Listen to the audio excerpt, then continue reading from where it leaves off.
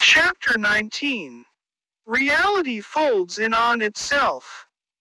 The true door is always open, but people are beating on the doors painted on the wall by themselves. Monk Simeon of Athos. After those, not marriage, and, bad you love, hieroglyphics readings, I took the rings off again.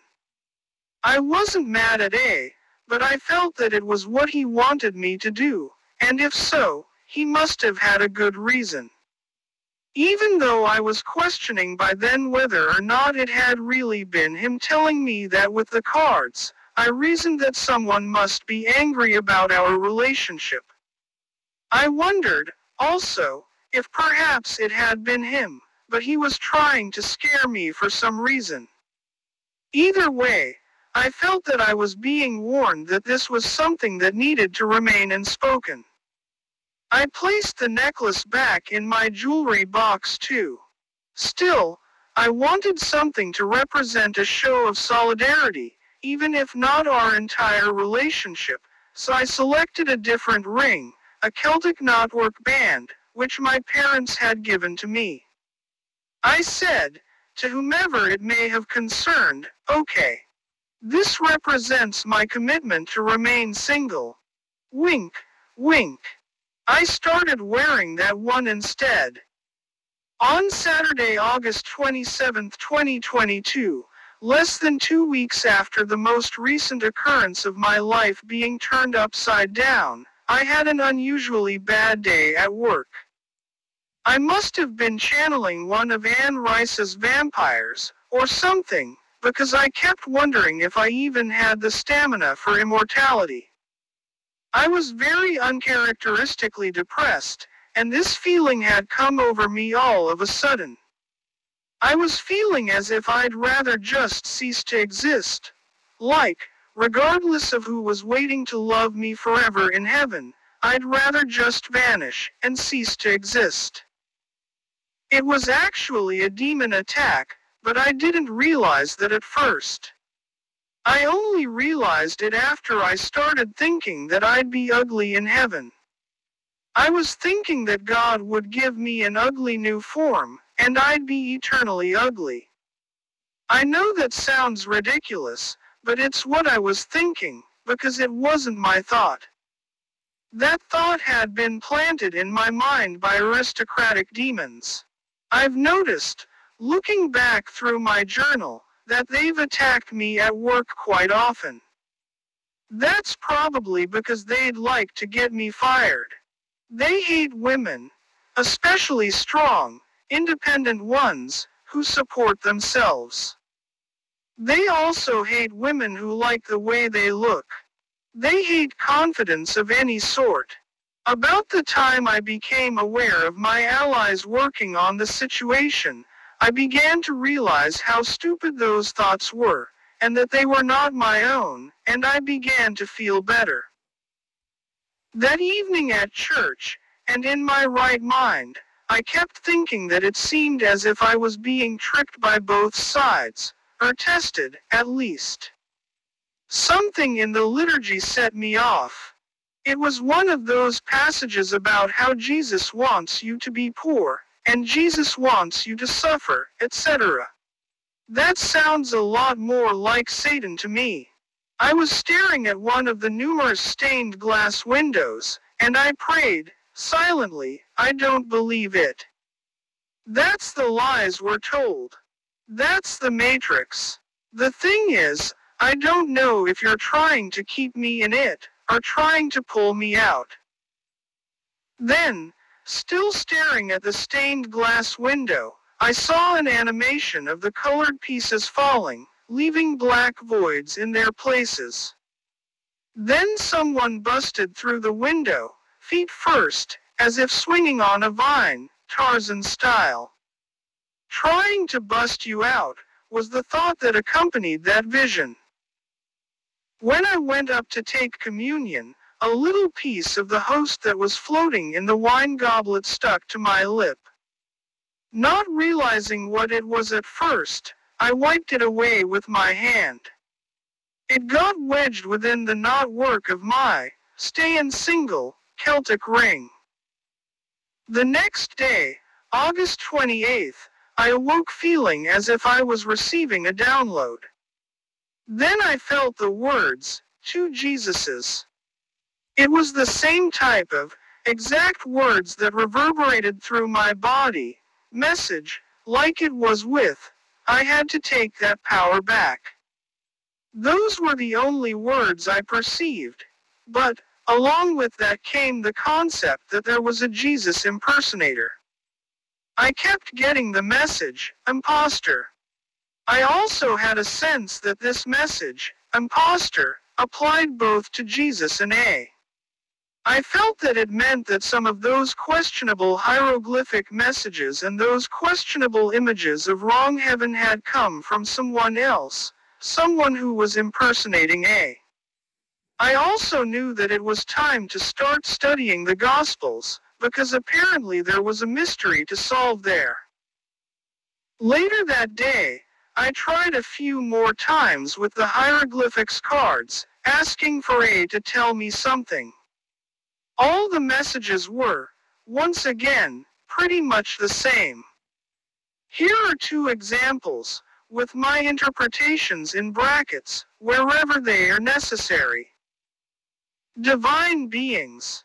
Divine beings say to you, you, you're capable. You are capable. Your writing do. The dead, yes. The dead are the problem. Yes, work marriage bad. I will house warrior woman. Divine I good. Forever time. Beware. Think friend. Kiss do not. Prayer can gift the living. King. The king says, after love sex. He you. He says this to you, as about sleep, wait together. Me, I say before. I love you. At least that was my interpretation. There was obviously a coherent message there, but again, the lack of punctuation made these more specific cards difficult to break into sentences. For example, the intention could have been, yes, work.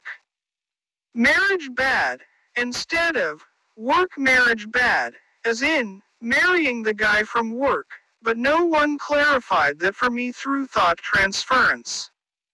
I interpreted the, he you, as, he says to you, because I didn't have the right cards for some of the smaller words.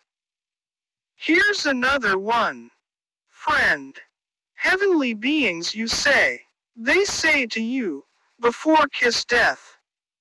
Before I can wake you from your sleep with a kiss, before we can be together, you must die, yes work. Forever love. Beware sex, do not. Him you praise. Strong about sleep, to wait. Him you praise is strong about putting you to sleep if you have sex. I mean, I don't know how anyone else would interpret those messages, but to me, they kinda sounded like they were coming from a jealous asshole. They actually got a little bit progressively meaner the more times I did it.